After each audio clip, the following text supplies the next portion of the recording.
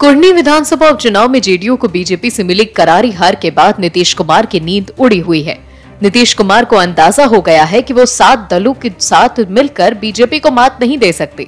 कुर्नी उपचुनाव में जीत कर बीजेपी का भी जोश हाई है और अब भगवा दल ने नीतीश कुमार को बिहार की सत्ता से बाहर करने की ठान ली है।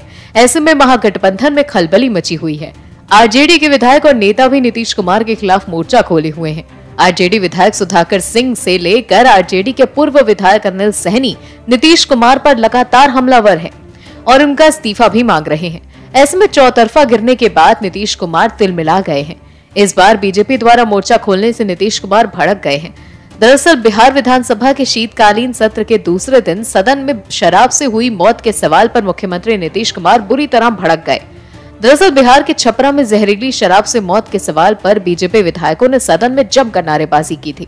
इसके अलावा बीजेपी के विधायकों ने सदन में भी ये नारा लगाया कि कुढ़नी तो झांकी है, पूरा बिहार बाकी है। इस पर नीतीश कुमार बेहद नाराज़ होकर और गुस्से से चिल्लाकर कहते हैं, तुम लोग गंदा काम कर रहे हो, सबको भगाओ यहाँ से। अब तो बिल्कुल बर्दाश्त नहीं किया जाएगा। तुम लोग शराबी हो गए हो, अब टॉलरेट नहीं किया जाएगा, तुम लोग पूरे बिहार में गंदा काम कर रहे हो। पहले क्या बोलते थे? अगर नहीं संभलते तो काफ़ी बुरा हो जाता। तुम लोग शराब के पक्ष में हो गए हो। नीतीश ने आगे कहा कि जो लोग गंदा शराब पीकर मर रहे हैं, उनके पक्ष में हो गए हो। मैं तो कुछ नहीं बोलता था। अब मैं और अभियान चलाऊँगा। इसके अलावा नीतीश कुमार ने यह भी कहा कि तुम लोग गिर गए हो। कितना इज़्ज़त दिया तुम लोगों को। लेकिन तुम क्या कर रहे हो?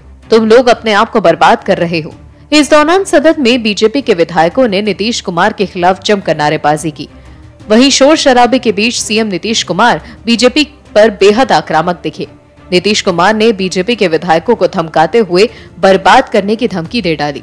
सदन में नीतीश कुमार जिस तरह से बीजेपी पर आक्रामक दिखे, उससे साफ़ है कि बीजेपी का निशाना सही जगह पर लगा है। बीजेपी उपचुनाव जीत कर फ्रंट फुट से खेल रही है और नीतीश कुमार के खिलाफ ज़बरदस्त घेराबंदी किए हुए है। बीजेपी लगातार महागठबंधन को एक्सपोज करने का काम कर रही है। ऐसे में नीतीश कुमार को जवाब देना मुश्किल हो रहा है तो वो गुस्से से लाल हो रहे हैं। और भी वीडियोस देखने के लिए चैनल को सब्सक्राइब करें और बेल आइकन को दबाएँ।